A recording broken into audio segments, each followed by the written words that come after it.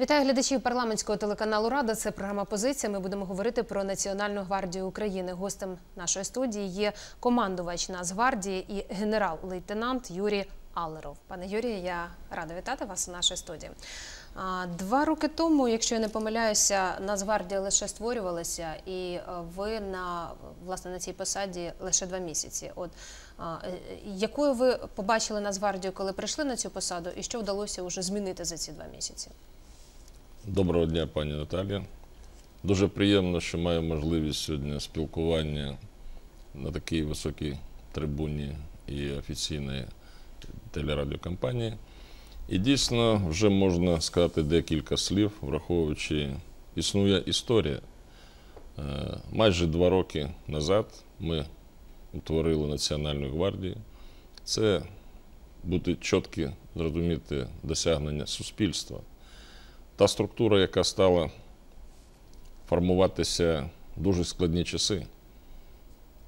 Анексія Криму, захоплення Донбасу і необхідність структури, яка забезпечить внутрішню безпеку держави, спроможність відбиття зовнішньої агресії, агресії разом з Збройними силами, дійсно вимагала у суспільства, у держави створення структури, яка буде спроможна, сучасна і сильна. На сьогоднішній день я два з половиною місяці знаходжусь на цій посаді. Це не нова структура для мене. Я пройшов багато посад, часу в структурі, яка була напередодні. Маю участь в Національній гвардії 90-х років, коли була утворена така структура на початку розбудови нашої держави. Потім організаційно штатні зміни, була структура внутрішні війська. Сьогодні Національна гвардія має нове надихання, нові рубежі і нове утворення, яке дійсно є сучасним і спроможне забезпечувати безпеку держави в цих складних умовах небезпеки. Хто сьогодні от власне представляє сучасну Нацгвардію? Основою формування Національної гвардії є в першу чергу це наші громадяни країни, е, які мають відповідний вишкіл, відповідну освіту. Офіцерський корпус підготовлений, як правило, в навчальних закладах в системі Національної гвардії існує Національна академія, факультет. Також ми залучаємо фахівців, підготовлених в вузах Збройних силах України. Рядовий склад сержантський. Він формується, як правило, з контрактників, які проходять до підготовки в навчальних центрах, а також в навчальних закладах по спеціальностям.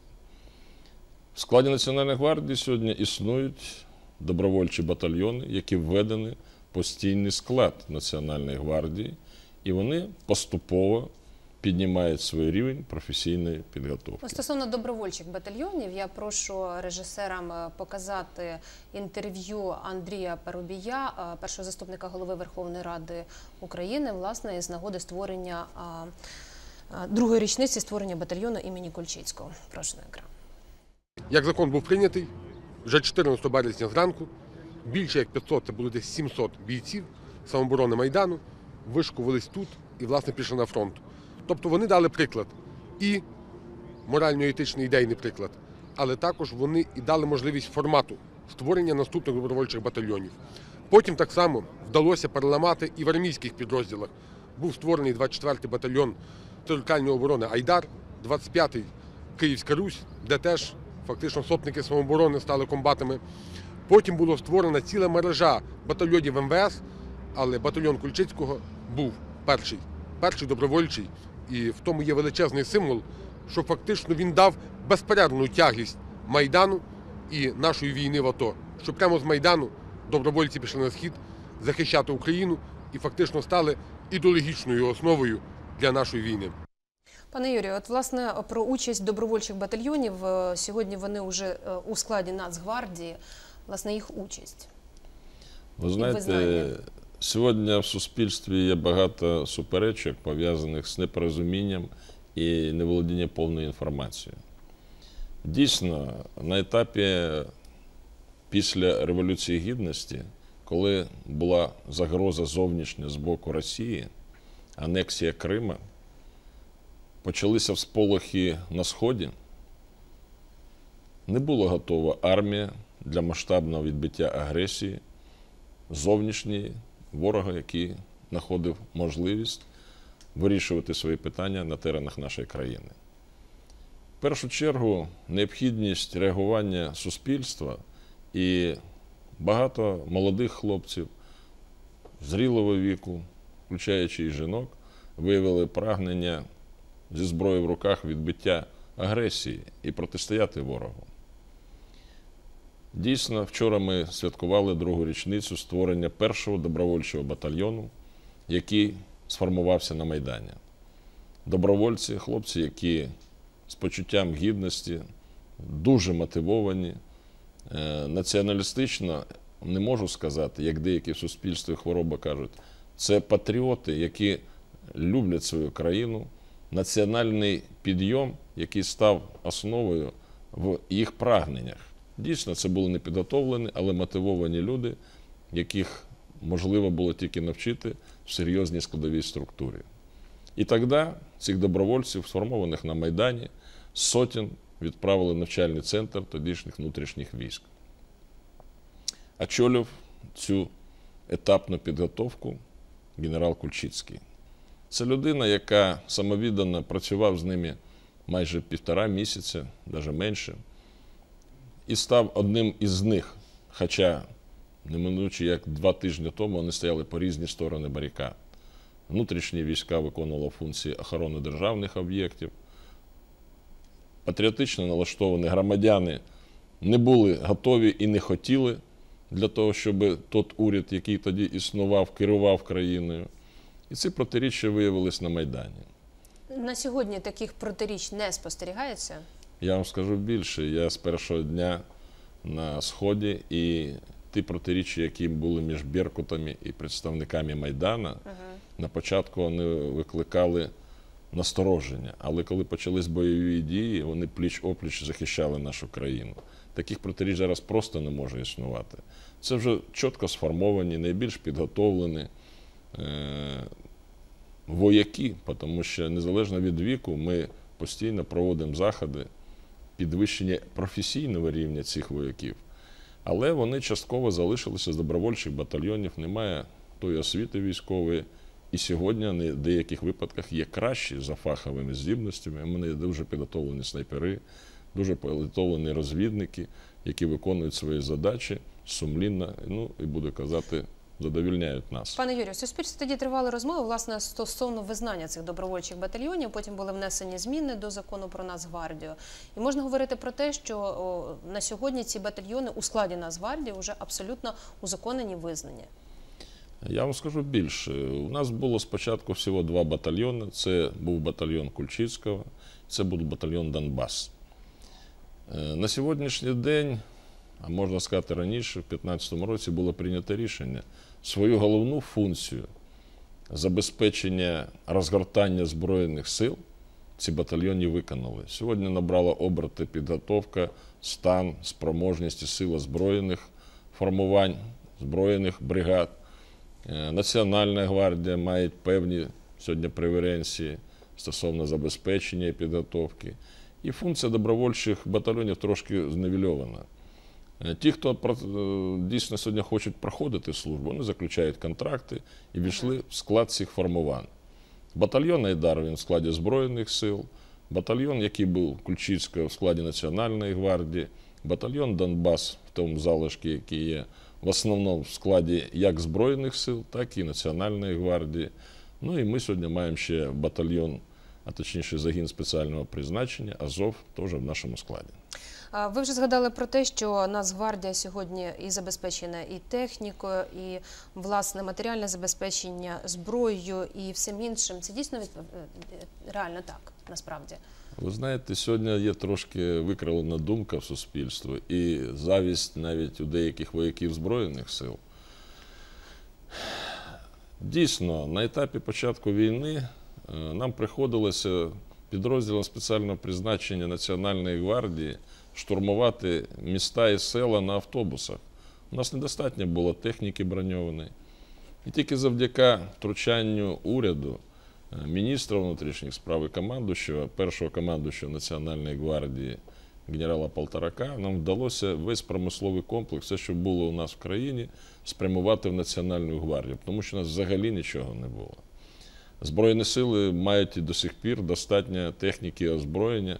Да, вона не зовсім сучасна, пострадянських зразків, але вона забезпечена на сьогоднішній день.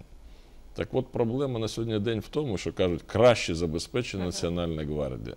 Ми сьогодні забезпечені лише на 40% від потреби нашої організаційно-штатної структури.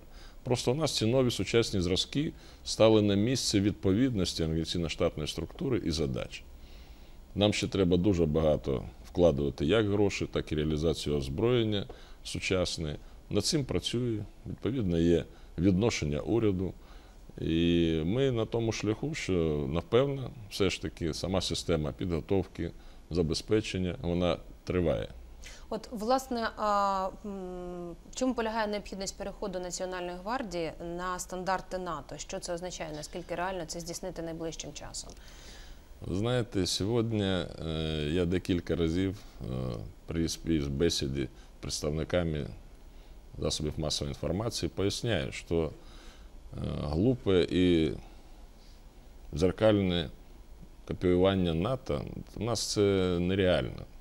По-перше, ми знаходимося на різних рівнях технологічних питань, фінансових можливостей держави. А по-друге, може, не зовсім це потрібно. Повинна бути чітка ідентичність нашої складової силової в обличчі Збройних сил, Національної гвардії. Безумовно, країна вибрала напрямок, спрямований на цінності Європи, е, на цінності, які існують в странах е, країн НАТО. Ми використовуємо їх способи і методологічні підходи в індивідуальній підготовці. Вони дуже сьогодні приємлемі і мають право на життя в нашому організаційних штатних підрозділах. Стандарти НАТО вимагають від нас на етапі реформування якраз зміни е, органів управління, управління і організації зв'язку, зміни системи підготовки, системи логістики. Ми використовуємо їх вже вдосконалий досвід і для того, щоб адаптуватися при необхідності взаємодії з збройними структурними підрозділами НАТО для сумісних дій. Сьогодні самі по собі Україна, напевно, не зможе протистояти той агресії держави, як Росія. І тільки в конгломераті разом з странами країн НАТО ми зможемо чітко з'ясувати ті питання, які сьогодні повинні зупинити ворога як в голові, в мозгах, так і на реальних діях на Донбасі і в Криму. Тому дійсно сумісні дії з військовими формуваннями, спроможність виконувати разом задачі, якраз оце перші кроки, які напрацьовуються як в Національній гвардії і інших формуваннях, які відповідають за безпеку нашої країни. А от міжнародні навчання, які на території України відбуваються час від часу, що стосується військової сфери, Це велике дуже досягнення, то що ми сьогодні використовуємо потенціал країн НАТО. Ну, досвід минулого року, в 2015 році, ми проводили сумісну підготовку і навчання в Явровському полігоні. Приймала участь сьогодні приблизно до 200 чоловік по різним напрямкам підготовки разом з військовими країн НАТО Національної гвардії. Цей досвід дуже неоцінимий. В першу чергу, як нам, а так військовим безпосередньо країн НАТО. Навчання, які проходили на Явровському полігоні, вони показали, що американським військовим десантникам, які служили в різних країнах, вони отримали, може, навіть більше досвіду від нас, чим ми від них. Спілкуючись з бойцями, які приймали участь в зоні АТО, вони сказали, да, це непогано, але ми знаємо і вміємо більше. Коли я розмовляв з американцями, кажуть, у вас дуже чудові вояки, які прагнуть, стараються і досягають. У них системні підходи в індивідуальній підготовці дуже важливі і нам сьогодні приємними. Ми їх почали використовувати в підготовці в своїх структурних підрозділах. Ті, хто навчався в Яворові, я як командуючий сьогодні використовую як інструкторами підготовки індивідуальні в наших підрозділах Національної гвардії. Це системний підхід, у нас є чудові напрацювання, і ми рухаємося далі. Ну а стосовно міжнародної підтримки, ви говорите про те, що е, Нацгвардія на сьогодні забезпечена тільки на 40% необхідним. Сьогодні країни, які зовні дивляться на нас, вони чітко розуміють, якщо ми самі не будемо нічого робити, і допомоги до нас не буде. Вони повинні е, побачити, що ми дійсно використовуємо весь свій потенціал країни для того, щоб змінити свої силові структурні підрозділи. Це стосується і Збройних сил України, Національної гвардії, прикордонників, Служби безпеки. І сьогодні і уряд, і вся країна напряглася і віддала все можливе, як гроші, так і потенціал промисловий для того, щоб вдосконалити армію, Національну гвардію і інші силові відомства. Коли вони бачать, що ми щось роблять, вони готові нам допомогти. Наприклад, сьогодні застаріли засоби зв'язку, які ми використовували пострадянського простору в зоні АТО, вони приглушуються і чітко прослуховуються російськими спецслужбами. При бажанні їх заглушити, вони це робили дуже ефективно. Ми почали використовувати сучасні засоби зв'язку Моторола, Харріеси. Вони на 2-3 порядка вищі і якраз забезпечують приховане управління військами. В цих напрямках нас е, є допомога чутлива з боку Сполучених Штатів, Канади та інших країн світу, які дають як гроші, так і безпосередньо можливість придбати ці засоби сучасні, які забезпечать управління військами.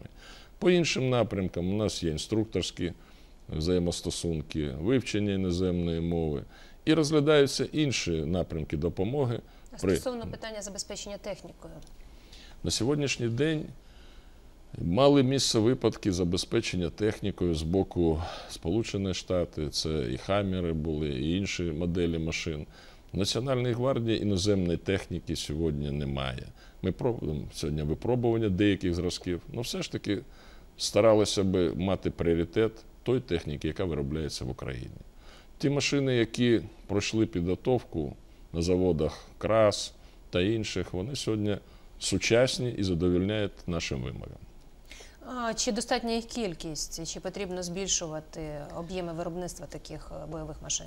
Безумовно, обсяги замовлень, які існують від Міністерства оборони і Національної гвардії, поки потужності наших виробництв не забезпечуються, тому що перехід на сучасні зразки і потреба вона на сьогоднішній день поки не задовільнена, тому що якраз виробництво трошки у нас сьогодні буксує. Наскільки задовільнене питання із зарплатнею військових, які сьогодні представлені у формуванні Нацгвардії? Ви знаєте, одна із розмов з своїми підлеглими після того, як було підвищення заробітної платні, я їм кажу, шановні військовослужбовці, мені дуже соромно, коли країна напружується і нам підняли заробітну платню, а ми в деяких напрямках погано виконуємо свої обов'язки. Сьогодні заробітна платня задовільняє потреби, і вона в середньому вища, ніж в країні.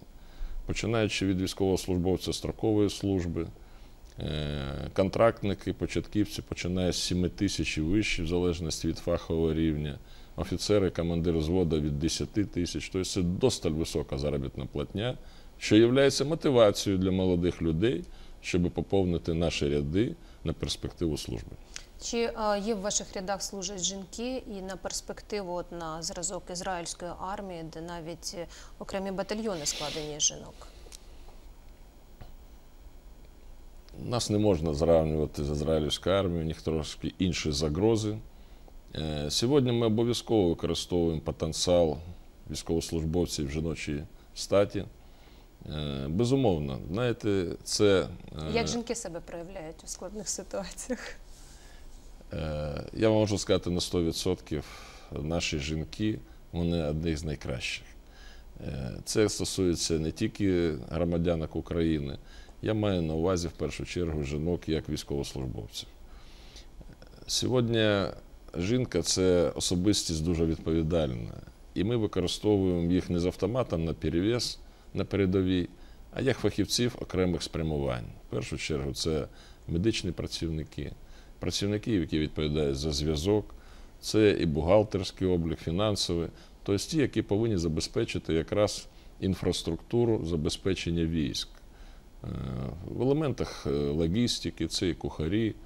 Тобто обов'язково їх використання за призначенням, а не як бойову одиницю в спрямуванні до досягнення якоїсь мети. Які якості насамперед ви оцінюєте у е, нас е, військового, у нацгвардійця?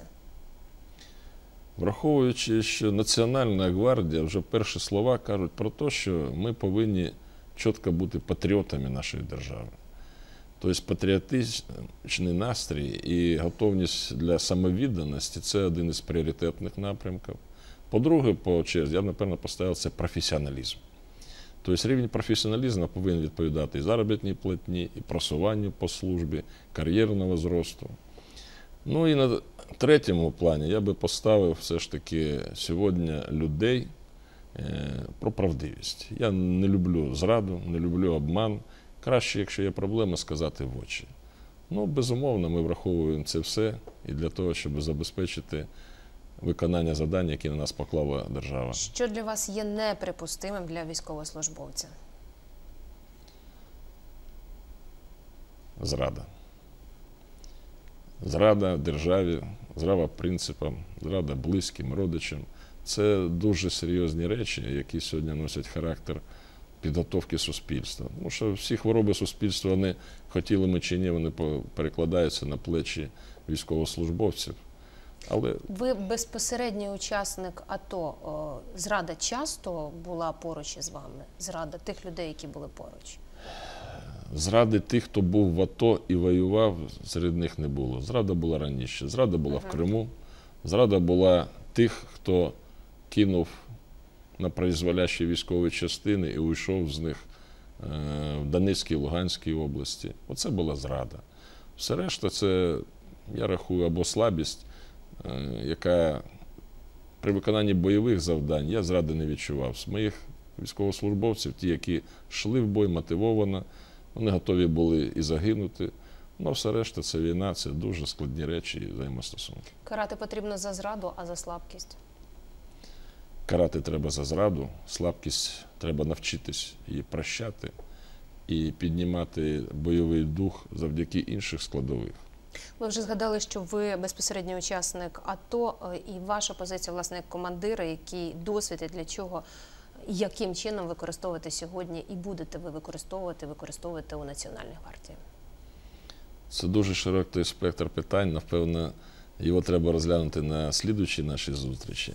Першу чергу, я хотів би, щоб наш народ, суспільство в цілому об'єдналося. Е, Якщо ми банально повторюсь, це не я сказав, е, якщо човен в морі починає розхитуватися вліво-вправо, зачерпне води, він потоне. І хто з правого і з лівого борта, вони в першу чергу винні в цьому. Нам сьогодні об'єднатися треба в суспільстві, створити умови, щоб держава піднялася з колін і стала міцною і спроможною, а потім будемо вирішувати політичні амбіції і все решта. В першу чергу, якраз оця самовідданість нашої єдності, я хотів би, це дуже важливі питання. І прикладом є дуже багато, навіть поведінка нашої щирої українки Надії Савченка. Безумовно, це склада особистість, але сьогодні це наш такий великий поднятий прапор, який стає зразком для іменно е, кожного українця в своїх діях і мріях. Такі зразки герої потрібні сьогодні для підняття духу, патріотизму, настрою в суспільстві, зокрема серед армійців, серед військових. Обов'язково, ви знаєте, принцип героїзму і виховання на цих прикладах це в першу чергу задача суспільства, тому що ми сьогодні повинні думати о молоді, яка починаючи з дитячого садочка і ходить школу, інститут, він вже повинен рости патріотом. У мене є чудові приклади. Я приїхав до Львова, до речі, народився у Львові, а повернувся туди через 36 років. І коли мій онук пішов в дитячий садочок, він дуже слабо розмовляв на українській. Він швидко навчився, адаптувався. І я був здивований, коли не починають зустріч молоді діти в садочку, вони поють гімн України, вони моляться. І ці патріотичні налаштування, вони дійсно повинні починатися зі сім'ї, дитячого садочка, школи. В цьому нам сьогодні якраз бракує це в суспільстві. У нас зруйнована система ідеології, і в Україні дуже-дуже зневільована. той вакуум заповнюється різним брудом. Якщо ми створимо системний підхід і ідентичність нашої нації буде виховуватись, це стане запорукою перемоги і єдності нашої країни. Пане Юрію, я дякую вам за цікаву розмову. І глядачам нагадую, що гостем нашої студії був командувач Національної гвардії України, генерал-лейтенант Юрій Алеров. Дякую, що ви були з нами. До зустрічі в ефірі.